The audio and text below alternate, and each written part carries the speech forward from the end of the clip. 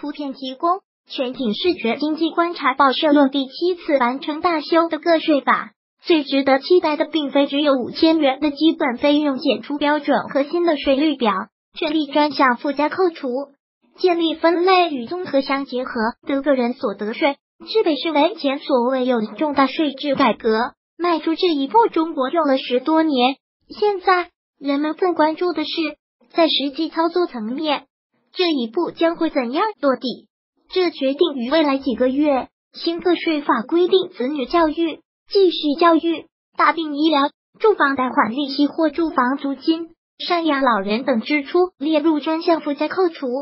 但并没有规定抵扣标准范围和实施步骤。新个税法授权国务院对此作出具体规定，并提交全国人大备案。九月六日，国务院常务会议主题之一。就是确定落实新修订的个人所得税法的配套措施，专项附加扣除将于明年一月一日起实行。从普通纳税人的视角看，这里面有太多细节需要厘清，比如说子女教育和继续教育支出依据什么样的标准扣除，扣除范围如何确定，再如赡养老人如何界定赡养，生活在一起算呢，还是每月给付生活费算？如果是多子女的老人，赡养费用怎么分割？更让人挠头的是，教育、医疗和住房等项支出往往体现为家庭开支，如何落实到个人？这些问题看似繁琐细碎，却是纳税人的核心关切。因为怎么扣、扣多少、如何认定，最终决定了纳税人能够在多大程度上减轻税负。从个税法修订过程看。这些问题也正是全国人大代表们热议的内容之一。有鉴于此，确定专项附加扣除范围和标准应该更接地气，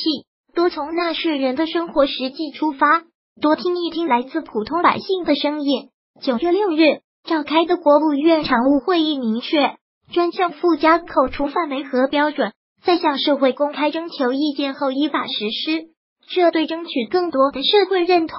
实现合理扣除和政策公平大有注意。毋庸讳言，新个税法确定每月五千元、年六万元的免征额，跟很多纳税人的心理预期有落差。但同时，应考虑到新增的专项扣除等其他改革内容，评估减税效应不能只盯着起征点，而要综合考量，这是有说服力的解释。正因如此，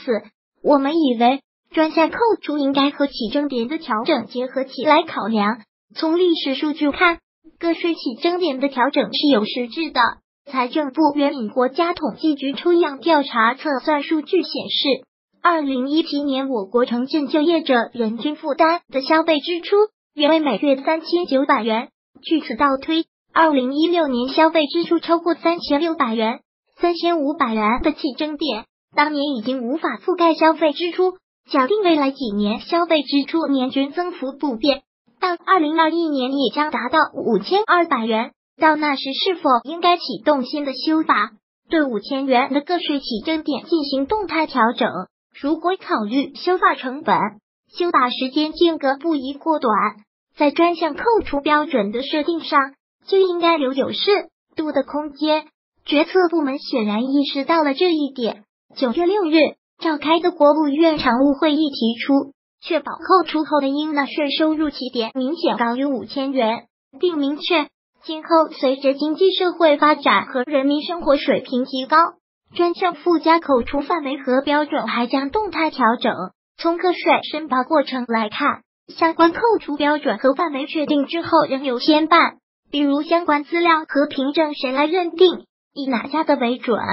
如何避免出现那种。证明你妈是你妈的尴尬。再如，是否能够通过有效的信息比对实现网上作业，而非要纳税人提供各种票据和证明？这对各部门和相关机构的协同能力，特别是信息化下的互联互通，是一个考验。尽管修个税法明确这些部门应向税务机关提供相关信息，但应该承认，部门协调合作还需打通不少治理关节。六项专项附加扣除涉及教育、卫生、民政、社保、